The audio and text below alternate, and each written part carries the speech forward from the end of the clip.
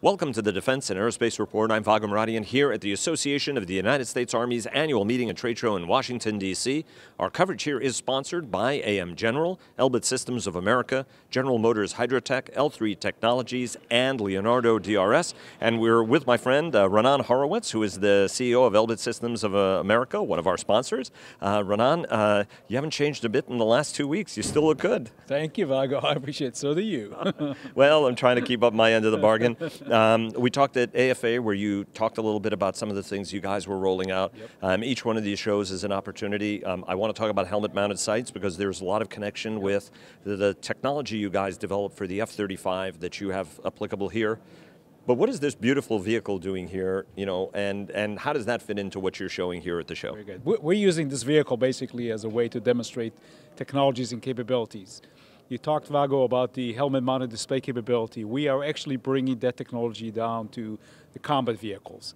And uh, the uniqueness of this, you know, as, uh, as the Army is looking at survivability and lethality, they're putting active protection system, they're putting different capabilities, fighting in urban environment, it's become even more important for the crew to be able to fight and have supreme situational awareness from inside the vehicle. So what we have here is a system, IronVision, that provides that capability 360 degree see-through capability with cameras mounted outside the vehicle with a helmet mounted display system, similar technology to the technology we have on the airborne platforms to be able to do that. So the solution really is going to change, the solution is going to change how soldiers fight. Be able to do this from within the vehicle with supreme situational awareness, protected so lethality and survivability, and this is the vehicle we're demonstrating that capability. Um, and, and this one is, if I'm correct, an Israel Army vehicle because it has the 120 millimeter uh, mortar um, on it as well. But talk to us a little bit about the U.S. Army requirement for this. Um, you know, how is the U.S. Army looking at this? Because this is a technology that the air forces, um, particularly because of the Joint Strike Fighter program, but that includes the U.S. Air Force, Marine Corps, and the Navy have been looking at as, as a future.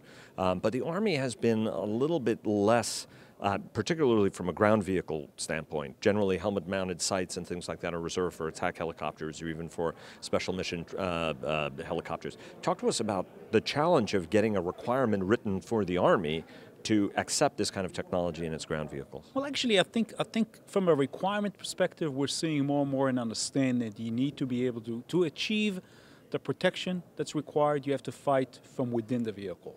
So, from a requirements perspective, I think there's recognition and there's a lot of acceptance. I actually think Vago, the biggest barrier up until now was a barrier for affordability.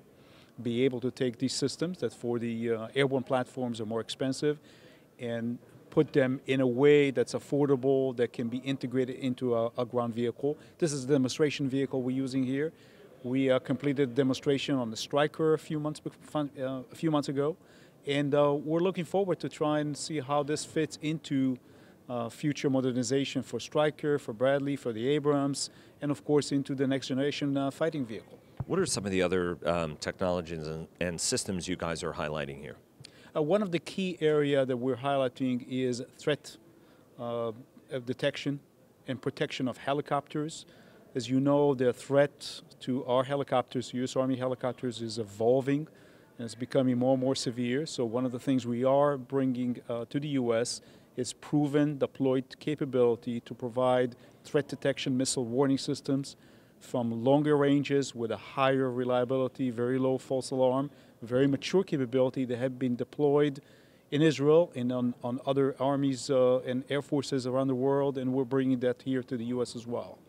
Um, another area is in the area of precision fires, uh, loitering munitions. Uh, as you can see in our booth, we have one of our advanced loitering munition capabilities. The chief of the Army, uh, General Milley, is talking about precision fire, longer range, uh, endurance capability, and this is one of the areas in which we're investing money and uh, investing in capabilities.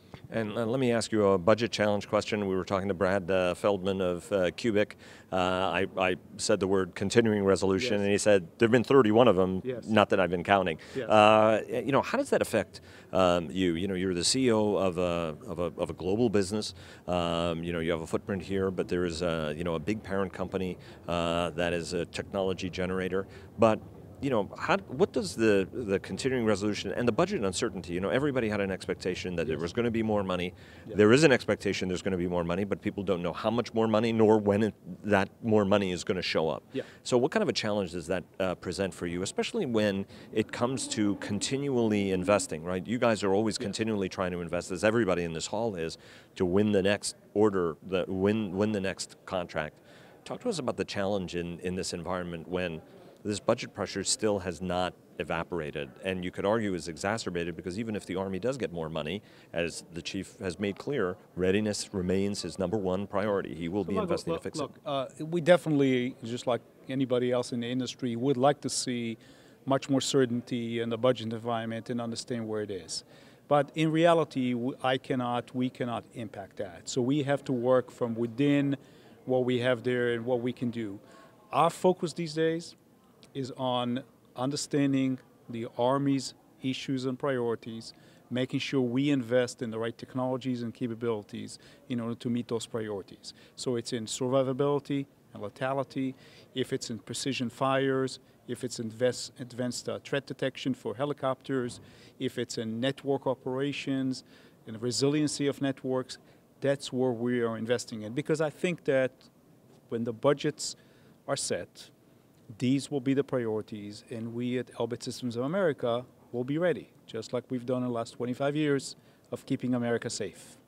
Wow. And on that note, Raanan, thanks very much and hope you have a great day, USA. Thank you, Vago. It's a pleasure.